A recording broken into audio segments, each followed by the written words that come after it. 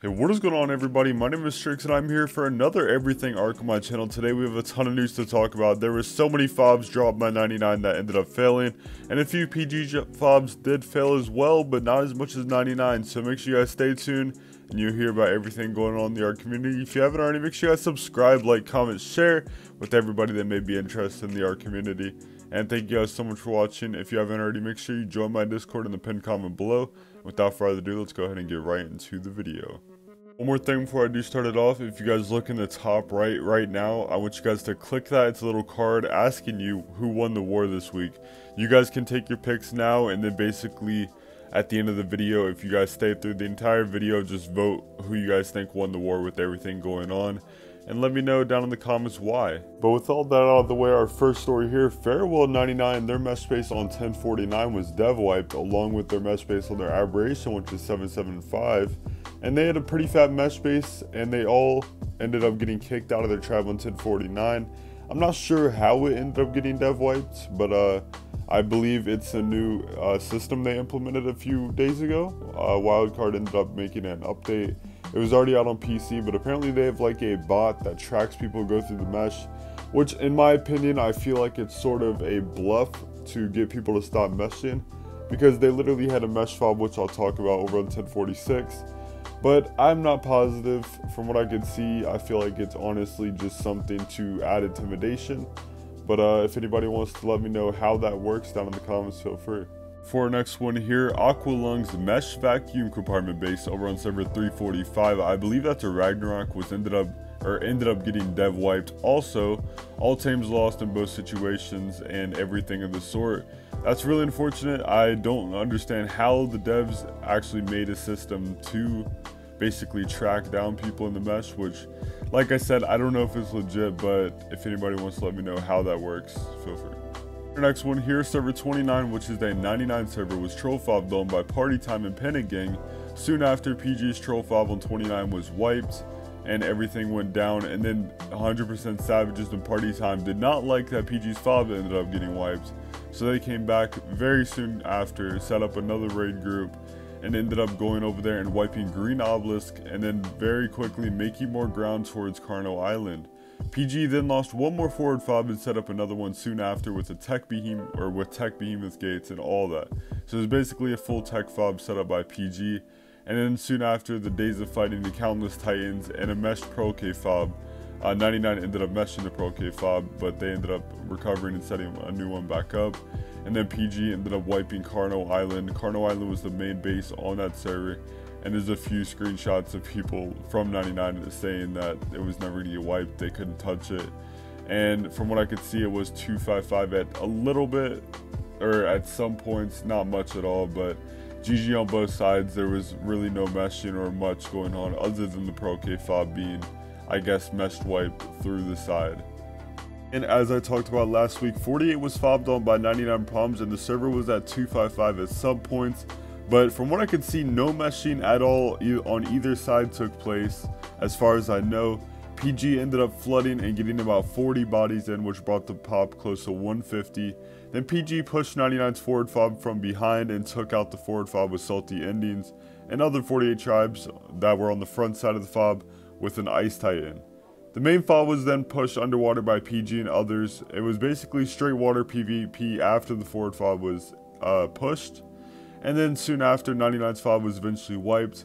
The fob allowed PG to flood other servers and do massive damage, which I'll talk about. In the end, Hoblink ended up talking and soon after deleting the message saying that they used about 85 volts of AR rounds and about 10,000 element. And then obviously he soon deleted the message. But as of now, the 48.5 is completely gone. And GG on 99 over there. You guys put up a hell of a fight in my opinion. I was over there for a little bit, but massive GG's to both sides over there. And for our next story here, 99 ended up setting up a troll fob on service 768 aberration, which is a Panic Gang aberration. I'm not sure what sub-tribe owns that aberration, but I know 99 set up a troll fob on it quickly after 99's fob was pushed and there was nothing going on. And then soon after that, Black Genesis, which is a sub-tribe of Wu-Tang, Wu-Tang being the 99 Alliance, ended up setting up a fob on the server 225, 225 being a PG server.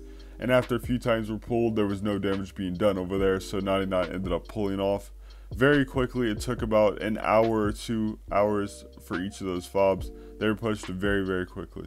Gang ended up dropping a troll fob on 894, specifically Donks being the tribe that ended up dropping the fob soon after PG joined in. 894 being a Glow Gang main score server in an attempt to pull numbers from 48, which did end up working. The fob was pushed the first night after about 3 hours of back and forth PvP. It was pretty good PvP, no 255 or anything of the sort, no meshing going on from what I could see. And then Donks went over once again after the fob was pushed the first night.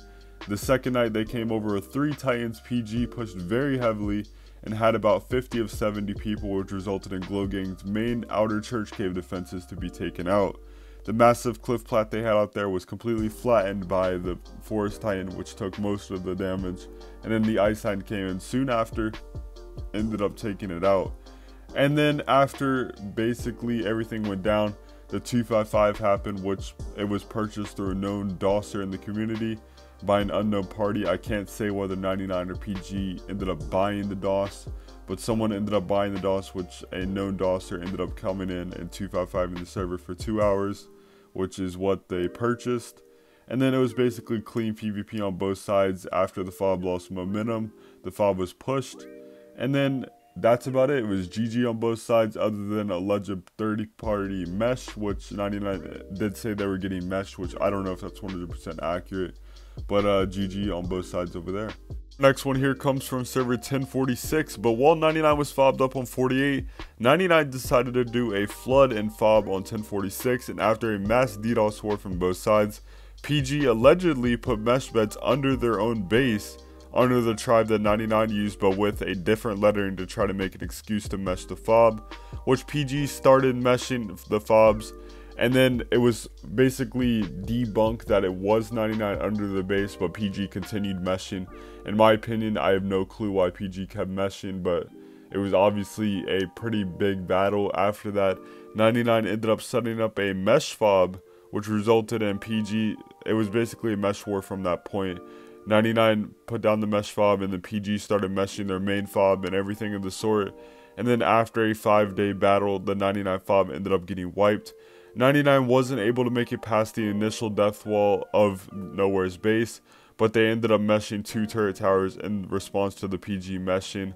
And from what I could see, 1046 was untouched other than the two turret towers being lost and a bunch of spam. Like, literally a fuck ton of spam was lost over on PG and 99 side over there.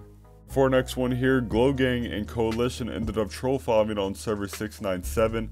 After they lost the 48 fob, they ended up going over to Salty Endings Aberration, which is 697, and ended up troll fobbing on it. From what I know, they only pulled one Titan, which was a Desert Titan, but it was pushed off within about two hours, and they didn't even open a channel on the PG Discord. From what I know, they didn't ask for help at all, but they ended up pushing that off very, very quickly. So that's really unfortunate for 99 over there. They couldn't really take out any defenses at all. From what I could see, they didn't even do any damage with the Desert Titan. But GG both sides over there was hella clean PvP on 99 and PG side. There was no DDoS, no mesh, anything of the sort. So good job over there, guys. And for our next story, Fallen Dynasty was incited by Ki2Wo or Ki2Wa. I don't know how to say their name. Over on server 1006 and 704. 1006 being, I believe, a extinction, and 704 being their aberration, resulting in a massive loss of cryotames for Fallen Dynasty. Fallen Dynasty is a PG sub-tribe, and the person who did it says they incited because Black, Black being a member of Salty Ending, said they couldn't join PG. So that's really unfortunate for Fallen Dynasty over there. We'll see how they respond to that. For next story, Mandingos ended up flooding server 887 and the server hits 255 immediately when all three titans were pulled. And they ended up doing a ton of damage to the server and the server ended up getting 255 for about 2 hours until 60 gang was able to get numbers. And as of last night the troll fob was still going on with 60 gang and Mandingos but as of now I believe it was pushed so GG both sides over there other than the DDoS attack which I can't confirm nor deny it was 60 gang. It's sort of obvious that it could be 60 gang. Obviously, three Titans were pulled, and then the server hit 255 immediately after, but they were still able to do a ton of damage, even though it was 255. So GG to Mandingos over there. And over on server 784, a few Donks members ended up pulling a Ice and Desert Titan on PTSD's main server, which PTSD is a 99 sub-tribe. And the Ice Titan didn't make it out of the fob, and the Desert did no damage besides soaking 200 bullets out of their I guess one of their main towers. It ended up dying fairly quickly, and then the troll was pushed off by PTSD. So good job, PTSD, over there. For our last story here, YKTD, which is 517 gang, ended up going over to server 225, which is a Lost Insurgent server, and they ended up going over there with 60 gang and a few other allies, not too many people, but they ended up blowing a cliff plat, one of, I guess, uh, Lost Insurgent's main cliff plats, and ended up getting a ton of loot out of it, of quite a few cryotames, a few hundred C4, and a bunch of tech and turrets out of it. So GG over there. That is about it for everything ARK this week. I want to thank everybody for tuning in, whether you're on the 99 and PG side, and I want to thank everybody for liking, commenting, and subscribing. And like I said at the beginning of the video, make sure you guys go on the top right now and make sure you guys vote who won the war this week. Last week, 99 ended up winning, so GG 99 on that. But this week, I feel like, in my opinion, PG sort of did the bulk of the damage while 99 ended up fobbing on 48. But GG everybody, and it was a great week in the ARK PvP scene. Thank you guys so much for watching. My name is Stricts, and adios.